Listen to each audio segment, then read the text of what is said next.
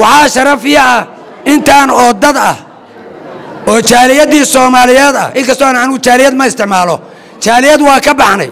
Waxaan nahay dad waxaan nahay soomaali amerikaan baan naha jaaliyaduhu waa dadka aan sharciga lahayn. Waxaan idinkaga mahadcelinayaa sida sharafta iyo xushmadda leh oo aad u soo dhowayseen xildhibaanad raysal qorane oo runtii wax badan laga sheekeeyey caawa waxtarkeeda waxqabadkeeda iyo inta soomaaliya ay ka qabatay xildhibaanaddu reerkoodu markay ka dhoofaayeen caawud ah waxay tihi anigu ma baxayo kulli faamiligu waa baxeen. Aniga ma baxayay tihi caawudaa kama tegaayo galmudug kama tegaayo soomaaliyana kama tegaayo horumar bay ka samaysay ilaa boosaaso garoowe gaalkacyo dhuusamareeb. Meesha la yidhaahdo muqdisho caabudaaq meel aan bisniskeedu buumi ahayn male ilaahay baa u barakeeyey. Intaa ay qabatay ilaahay baa ka sheekayn kara waa uga mahad celinaynaa waxaan rabaa inaan u yeedho oo aad ila soo dhowaystaan. Intaanan u yeedhin waxaan rabaa waxaa xanuunsan adeerkay saaxiibkay ah sodogayna ah maxamed xoosh ashkir inaa u ducaysaan baan idinka rabaa. Ilaahay inuu caafiyo wuu xanuunsan yahay. Intaa kadib waxay la soo dhowaysaan. Xildhibaan maxamed kayse si uu u soo dhoweeyo xildhibaanada kale ayagaa isu dhiidhiibaya annaga halkaasay nooga eg tahay xildhibaane ku soo dhowow mikrofoonka. Xildhibaan maxamed kayse aniga waa saaxiibkay waa walaalkay waxaa jooga saaxiibkay siciid cali afgaab baa jooga waxaa jooga faadumo khaatumo waxaa jooga dadkii waxtarka ahaa oo magaaladan horumarka iyo wanaagga ay samaysay qaybta ka ahaa. Abwaan waranlaa jooga xildhibaankii xildhibaanada oo gabadha adeerkeeda odageedii ah nabadoonkeedii ah oo ay ahayd inuu kelmad la siiyo laakiin wakhtigaa noo saamixi waayey xildhibaane abwaan waranle aad iyo aad baa umahadsanta adeer soo dhowow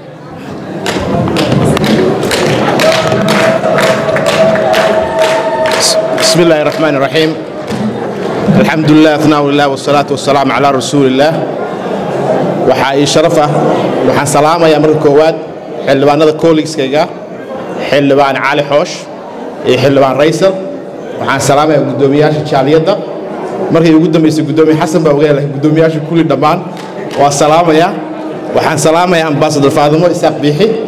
Waxaan salaamayaa dhammaan mas'uuliyiinta maqaamka qof ku jooga meeshan. Dhammaan rag haween rag iyo haweenba. Waxaa sharaf gooni ah inaan ku soo dhoweeyo magaalada columbus.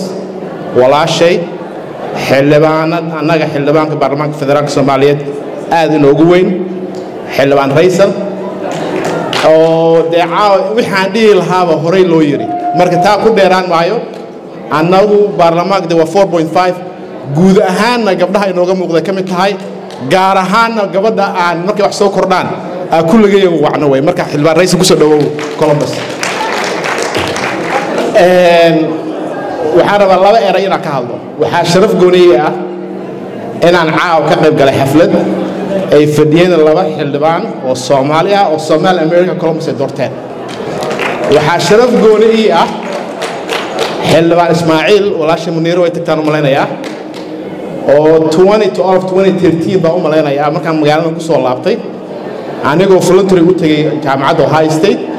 Markaa enroll gareeyey low school mise markaa dhiganayay oo ambitionkiisii hankiisii wixii ku jiray ila wadaagay sharaf gooni ii tahay. Marka caawa inaan meesha taagnahay asagoo himiladiisa gaara oo xildhibaan ah oo baahidii shacabka ummadda soomaaliya ku dugan magaalada ka samaynayo waxaan rabaa inaan bogaadiyo walaalkay nuur ciyo abdi aadan iyo dhammaan dhallinyarada farxaan jeyte ee ku haminaya inay u shaqeeyaan ummadda soomaaliyeed ee meesha degan anigu laba sano saddex sano ka hor baan idinka tegay oo waddankii aaday. Laakiin wixii ka horeeyey magaaladan activista ka ahayo ismaaciil iyo nuuri groupkanba aad u yaqaano waxay keliya iyo hagi jireen wuxuu ah ummadda soomaaliyeed inay ku dhimban tahay guda iyo bannaanba maanta ilaahay wuxuu ii gartay inaan noqdo xildhibaan federaal jamhuuriyadda soomaaliyeed. Inna habayaarada wixii aan ka geysan karna aan ka geysano ummadda soomaaliyeed wixii aan ka geysan karno. Marka waxaa idinku adkaynayaa inaad ku dadaashaan idigoo midaysan oo aan soomaali ka hoosayn in aad garab istaagtaan qof kasta oo han u yeesho hamiyana inuu idin represent garayo magaalada kala qayb qaato. Midda koowaad? Midda labaad soomaaliya laba arrin oo isdul saarnaa baa indhowta ka socday. Mid waa arrinka shabaabka. Hadalka badankiisa waxaan u daynaya xildhibaan raysal laakiin maadaama istaaga laba shay baan taabanaya. Mid waa arrinka shabaab oo si fiican professor jibriil uga hadlay. Waagaan kambeynga ku jira dadka waxaan tusi jiray doorashada 2022 laba shay baa isdul saaran. Oo kala ahaa opportunity wax la yidhahda casp oo garaaf markuu saa u kaco ah iyo inaan cliff hanger aan ka lahno maanta arrinkii waa ka gudgudbay extension thread ama qarannimadeeni dowladnimadeeni soomaalinimadeeni iyo jiritaankeenna ummad ahaan baa khatar ku jiro. Marka shabaab annagoo midaysan oo mid ah baan wada dilaynaa isku garab istaagaynaa dhaqaalihii hantiba ku bixinaynaa waxaan rabaa arrinka labaad idinka bogaadinaya inuu noqdo soomaaliya unitiga oo waxaan ku dhaarannay wiilka jooga looya cadde wiilka jooga luuq wiilka jooga baydhabo wiilka jooga ceerigaabo iyo berbera waa ummadda soomaaliya kitaabka gacanta ugu dhaarannay qayb ka mid ah oo arrin ka dhacay laascaanood baad ummadda soomaaliyeed reer columbus ahaan si fiican uga qayb qaadateen. Waa idinku bogaadinaynaa arrin ummadda soomaaliyeed unitigeeda ka shaqaysatan baa garab istaagteen soomaalinimaad garab istaagteen allah idinku shurfo waan idinku bogaadinaya. Sidaas si la mid eh waxaan idinka rajaynaynaa inaad garab istaagtaan arrinka shabaab iyo la dirirka shabaab annagoo midaysan oo soomaaliya. Kabacdi a wixii la siyaasadayn karo ama laga hadli karo dib iskugu fiiri doonaa. Taas waa mid. Arrinka haweenka anigu special meel gooni uga yaalla. Walaashay way tagtaa u malaynaya safiya tusmo bahdaaya erey taawatay haweenku haweenka soomaaliyeed jiritaanka ummadda siyaarad iyaga aasaas u ah iyagaa bays u ah. Haddaad maraykan joogto oo iskuul tagto ama dugsi tagto qofka keliya ee socdo ee ubadkeena garabka hayo waa haweenka soomaaliyeed. Qofka keliya la hubo inuusan xoolo dhacaynin wadannimo iyo qadiyad soomaaliyeed ka shaqaynaya waa haweenka soomaaliyeed. Waxaan is leeyahay waxaanu gaarnay wakhtigii ragga soomaaliyeed. Haweenka soomaaliyeed sida ra'iisul wasaare raysal oo kale aanu jaaniska siini lahayn bal idinka idinku fiirinaynaa taas waa mid. Xaflad aad u qurux badan. Reer columbus dadku waa soo dhoweeyaan hoolkan waa siduu bashir jibriil sheegay madaxweyne xasan sheekh maxamuud baa 2012 ku soo dhoweynay maanta marka in sida loo camiro waxay ka turjumaysaa soo dhoweynta iyo dadka reer columbus wanaagooda iyo xildhibaanada inoo timirta maqaamkay naga joogto. Marka taasna waa taabanaya. Arrimaha fanka kuma fiicni. Markii loo yaray walaashay malyuun heesa aad uma dhegaysta laakiin fartaan doonaa qoraa. Way la qorxoonaata waxaa idhi reer columbus haddaad tidahay fartaan doonaan qornaa oo sidaa doona u soo dhaweynaa laakiin hees kale ay qaado ku horumartay baa marka hore maxaa isdhaa fartan doonaan sugaya heesta kale maxay ahayd. Erayga mahiigaan caashaq oo roobka yaro taabtay. Marka waxaa isray afka soomaaliga dhallinyarada meesha fadhido toba fartaan doonaa qornaa gartee mahiigaan caashaq ama roobka magacyada badan oo soomaaliga ku leeyahay imsaa garan karto.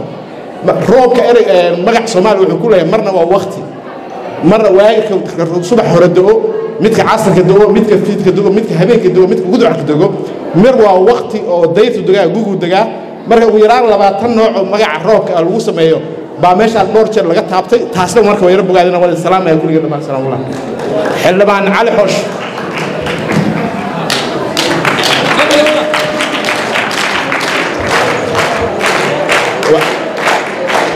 xildhibaan ismaxa loo soo dhaweey alla saxbiy xildhibaanka alla saxbiy waxaa yaro taabanayaa markii hore loo yeeray kaysan golongole baa waxaa haystay ho sooley baa la siray.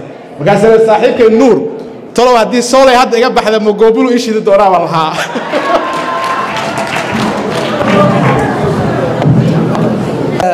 Munaasabaddan qiimaha badan leh oo lagu maamuusayo xildhibaan raysal qorane inta soo qabanqaabisay iyo inta ka soo qaybgashaba aad iyo aad baan idiin bogaadinayaa aad iyo aad baana ugu mahadsantihiin.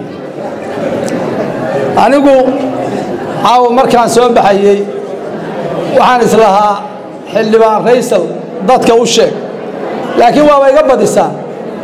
Marka inaan soo baxo haddaan saa u ogahay maba imaadeenba. Runtii munaasabaddan qiimaha badan leh qofta ugu tala gasheen waa qof istaahisho weeye.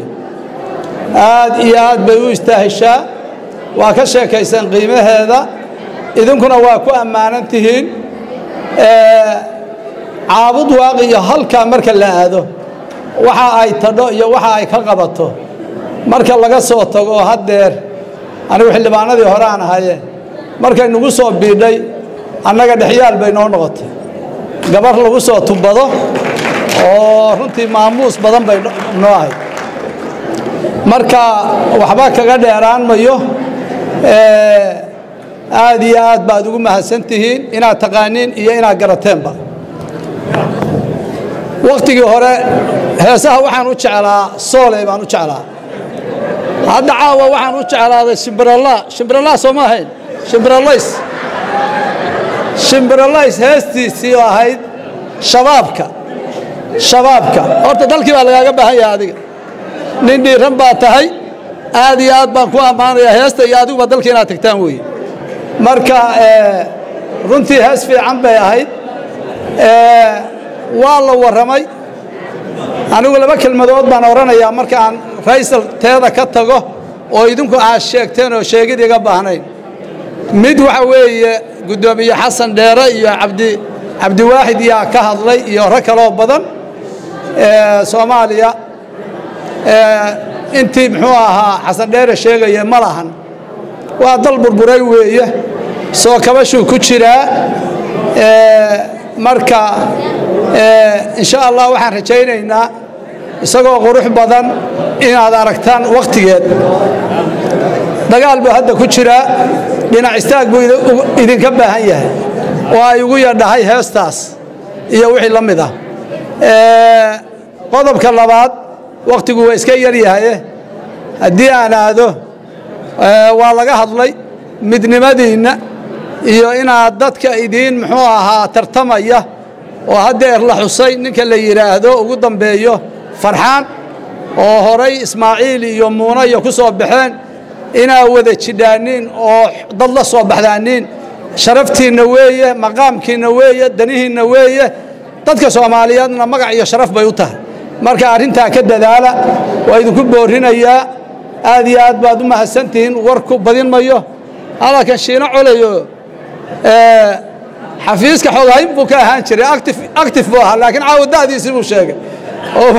Waxa weeye muxuu ahaa hadda wakaa jeegada ka qoordiitay annaga waagii hore jeegada kama qoordiidnayn wiil yaroo wuxuu ahaa fiican oo actif oo xooghayn noo ah oo aad iyo aada marka waxaan ku soo dhowaynayaa hadda xildhibaan faysal qorane. Magaceeda la sheeg sheegiyo qofba meeshu raba ha u qaado. Madaxweyne ra'iisul wasaare horta labadaa waa ka dhici weyde. Gowdha nimankii qoladii reer adeerkeen oo dhulbahantoo geela jeclaana baarkay ku sheegeen marka horta waxba uma dhimana hadda guriga ka dhalatana sida waa yahay. Marka faysal ku soo dhowow faysal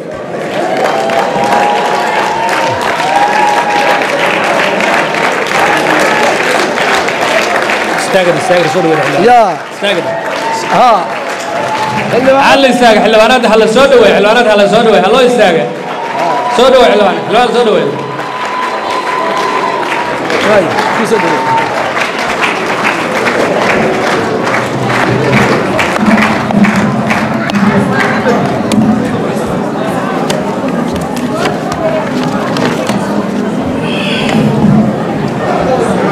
بسم الله الحمد لله رب العالمين آه، ما شاء الله تبارك الله markaad geesaha saa wada filfiishay saa wada filfiishay hadalka waa iga dhawa farxada awgeed maa sha allah tabaaraka allah waxaan salaamayaa dhammaan reer columbus ohio dhammaan reer north america meel kastay joogaan waxaan ku salaamayaa salaanta salaamka asalaamu calaykum waraxmatullahi tacaala wabarakaatu xildhibaanada dowladda federaalka soomaaliya saaxiibaday xildhibaanada stateka columbus ohio.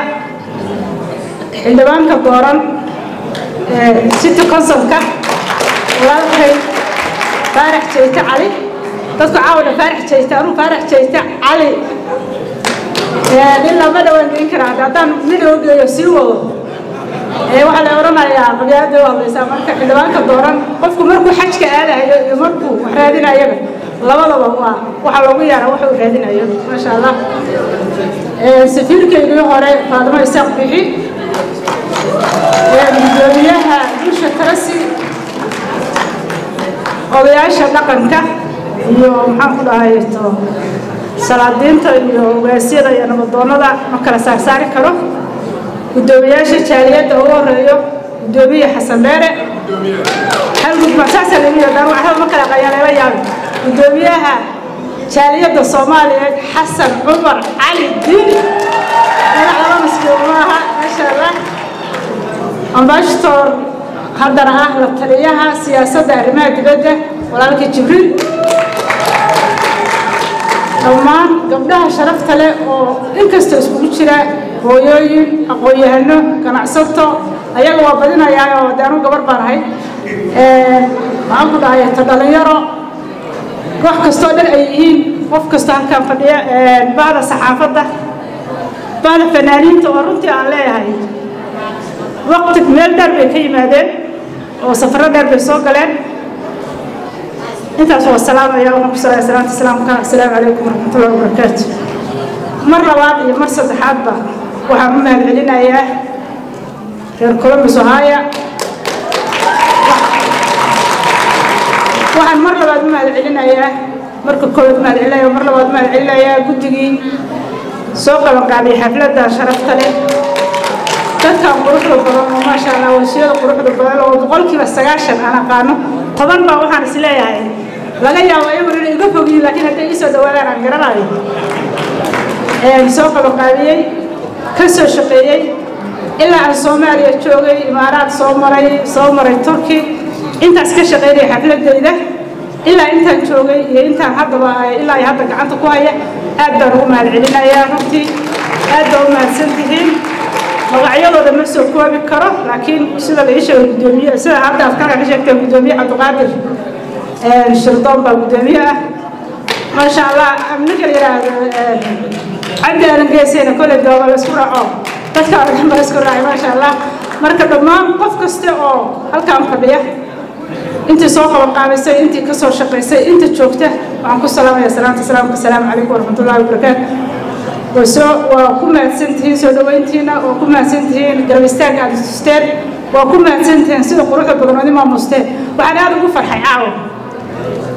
Maalkaa iga dambeeyo oo calankeedu iskugu jira. Waxaa la ii sheegay hoolkan madaxweyne xasan sheekh loogu sameeyey farxadda gooniya ii taha marka nooxii dhammaantiisii ah in anigana la ii sameeyo hoolkii lagu maamusana lagu maamuso farxad gooniya ii tahay waan u mahad celinayaa waan u mahad celinayaa intii soo samaysay iyo intii ka soo shaqaysay iyo intii horey u samaysay aad baan ugu mahad celinaya haddaan intaas uga baxo salaantaydii runtii reer columbus ohaya waxay ku magacaaban yihiin ama loo laga wada ogyahay inay yihiin dad hadday noqoto dowladis hadday noqoto horumar hadday noqoto garab istaag hadday noqoto soo dhaweyn hadday noqoto dowlad jeceyl iyo dad jacayl inay tihiin xaqiiqdii anigana waxaad dareemi kartaan anoo safar ahaa oo wadamo badan rabo inaan meelo badan inaan rabo inaan maro oo amerika ah. Meelo kalena fiisayaalka haysta oo yurub ah. Inaan columbus ohio ugu soo maray. Kalgacal iyo aan leeyahay dadkaas dowlad yaqaan weeye waana dad sharaf leh. Inaan idinkugu soo hormarin laftirkeeda safarkay ugu horreeyo oo qurbaha ku soo aaday inaan idinku soo maray. Farxad gooniya ii tahay waxay isiinaysaa aniga. Waxaa laga sheekeyn kara kole caawa waxaan malaynayaa intii hadda aan columbus joogay wada fiicanna waa seexda caawana mid ka sii badan baa seexanaya aad baa laga salaamay. Haddaan bacdusalaan haddaan intaa salaantayda uga baxo walaalayaal horta haddaan wax yar aan ka taabto waddankii soomaaliya oo aan xildhibaanadii walaalahay oo saaxiibadeena ay fadhiyaan waddanka waa ogtihiin dagaal buu ku jiraa looga xoreynaayo argagixisada ku soo duushay dalkeenna ku soo dishay shacabkeenna ku soo dishay waddankeenna looga xareynayo muddo dheer ku jira. Waxaa la waxaan rabnaa inaan wada garab istaagno haddaan nahay dowlad haddaan nahay shacab haddaan nahay ganacsato inaan garab istaagno runtii waxyaabaha looga baahan ciidankeena qalabka sida oo runtii har iyo habeen aan ku naaloonayno annaga xildhibaanada markaan aan joogno soomaaliya. Xaaladda aan ku jirno ilaahay baa ka sheekayn kara. Waxaan isku hadlaynaa na garab taagan haddaan hadday shacab jir yahay hadday dowlad tahay waxaana garab taagan oon dhiigooda iyo dheecaankooda iyo harkooda aan ku seexana ciidanka qaranka sida soomaaliya. Waxaa laydinka rabaa inaad garab istaagtaan. Codku waxaa la yidhi qofku see tahay baa waxba kuma dhintee qalbiga ku qabojisaa maxaan ku dhahay garab istaagga iyo youtubada youtubarada kolley waxaa fadhiya. Shiicada aniga oo iga badiya tiktokyada ma isticmaalo youtubarada nacantii haddii dowlad laga dhiirigeliyo ciidanka qalabka sida dowladda federaalka isteediyada wax kastoo laga garab istaago dhiirigelin bay u noqonaysaa.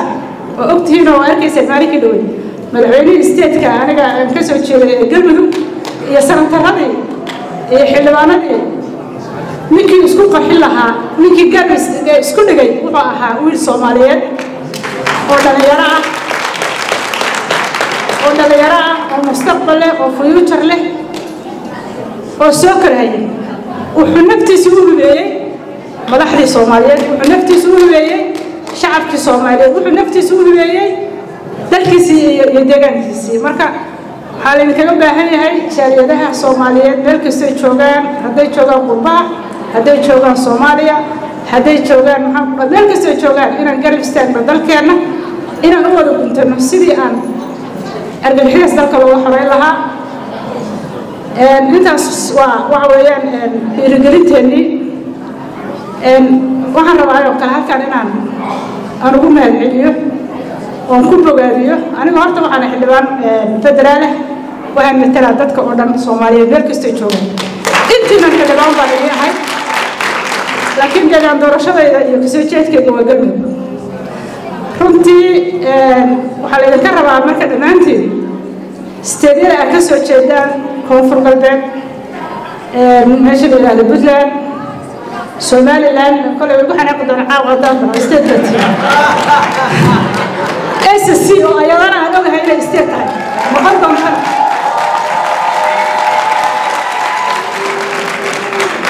yidhahdo galmudug jubbaland dhammaan isteedyada aad ka soo wada jeedaan. Intiina meesha fadhiya inta i dhegaysanaysa iyo inta aan soomaaliya meel kasta ay joogtaan waxaa laydinka rabaa inaad ogaataan waxyaabaha ka socda horumarka meeshii horumar ka socdo ku sii dhiirigeliya meeshaan horumar kala socon u istaaga.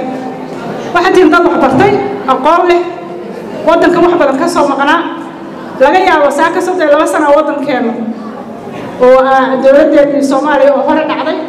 Dadkii ku dhashay halkaan ama sidoodaba dhashay maanta dowladda soomaaliya dadka ka talaya ka mid yihiin. Dadka halkaan wax ku bartay ka mid yihiin.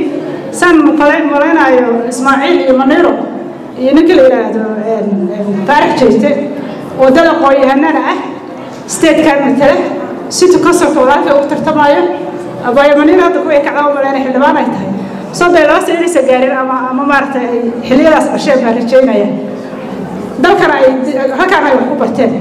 Marka dadka wax bartay oo dhallinyarada ah oo ama adinku aad dhasheen ama hadda fadhiya waxaad ka shaqaysaan deegaanka wuxuu u baahan yahay dad aqoon leh dadka waxygeliya jahliga jahliga ka saara waxbara dhiirigeliya. Xulumoodiinka hadda shiikhii halkan ka ka wacdiya walaalkay iyo culummada soomaalida soomaaliya joogtana masjiyada inay dadka ka wacdiyaan u baahan. Annaga soomaali ahaan dalkeenna dal shisheeyaa nagu soo duulaan dhahna dal shisheeya dhaqaalaha laga soo qaatee kuma soo xabaday waxaa dalkeenna ku soo duulay waa wiil soomaali. Waxa dhibka ka wadaa waa wiil soomaali. Hooyaa dhashay aabbaa dhalay. Marka qof kastoo qofka aad dhiirigelin kartid ama aad la hadli kartid kala hadla kana shaqeeya. Intaas waa iga dardaaran. Midda labaad oo kale waxaa waxaa waxaa midda labaad oo kale raalli ahaada marweyn galmudug baa raba inaan ku soo noqdo maadaama de statekayga ay tahay.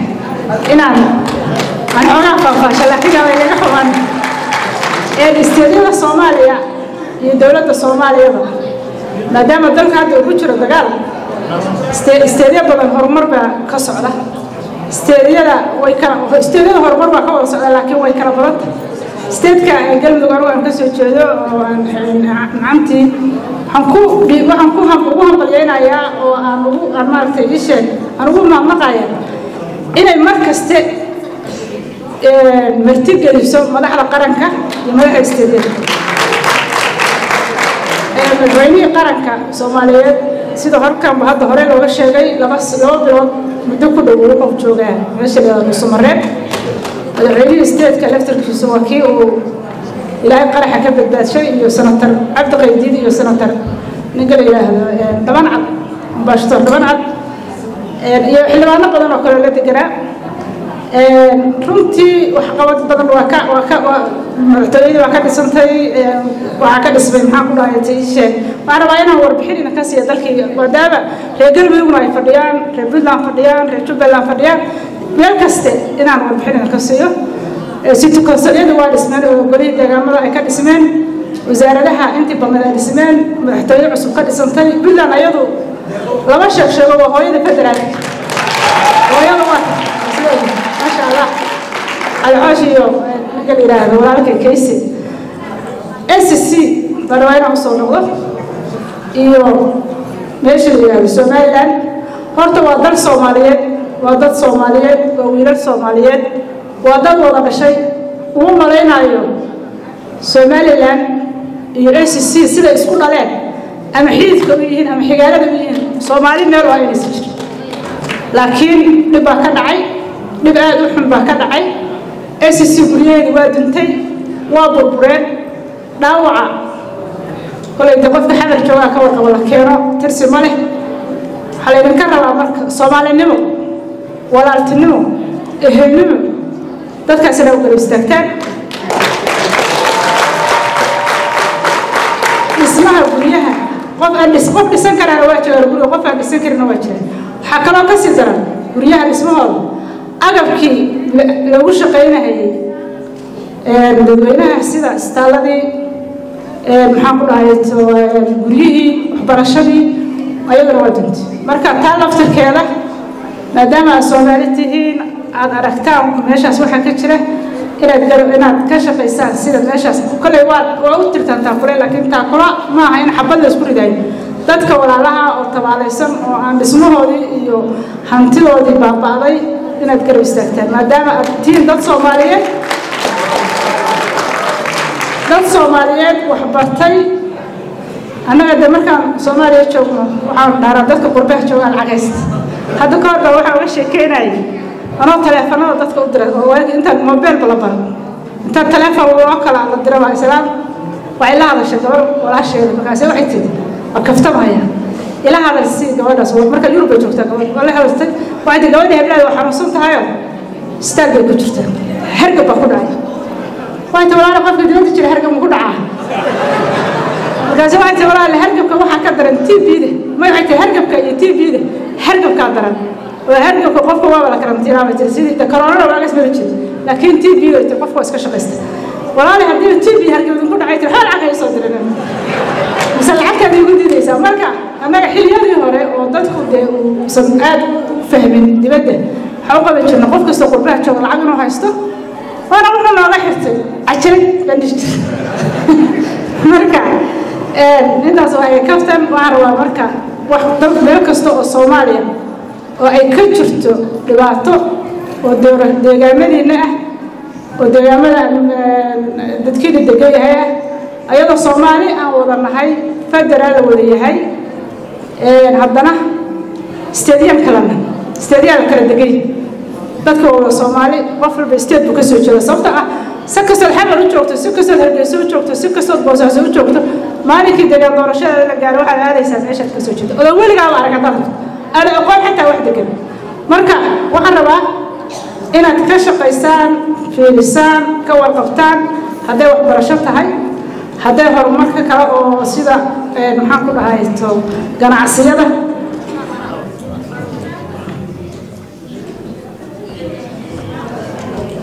Waxaan rabaa marka inaad howlahaas ka shaqaysaan oo aad garab istaagtaan. Waxaan u soo noqonayaa midii dowladnimada.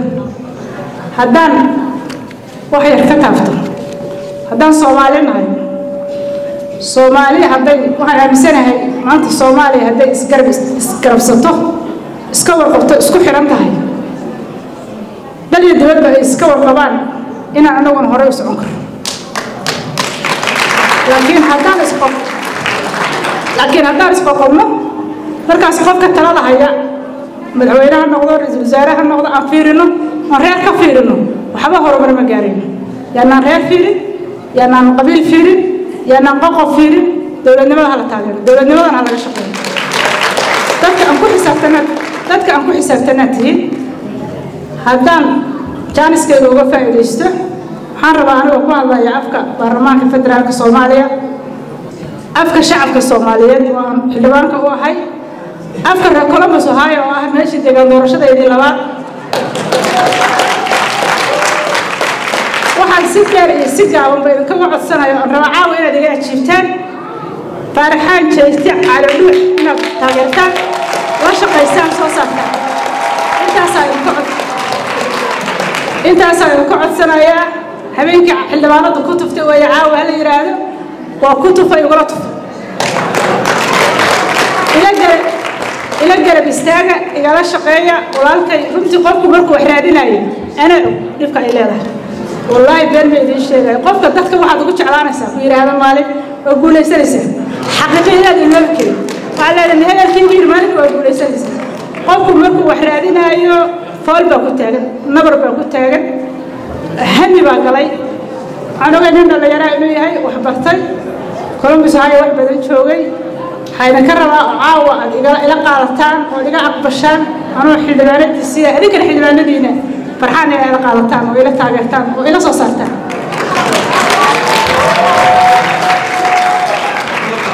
Mar labaad iyo mar saddexaad iyo mar afraad iyo mar shanaad ilaa toban baan gaarsiinaya reer columbus haya waa mahadsantihiin qalbiga ay saarantihiin madaxa ay saarantihiin maskaxda ay saarantihiin aad baan idin salaamayaa aad baan idin jeclahay السلام عليكم ورحمة الله تعالى وبركاته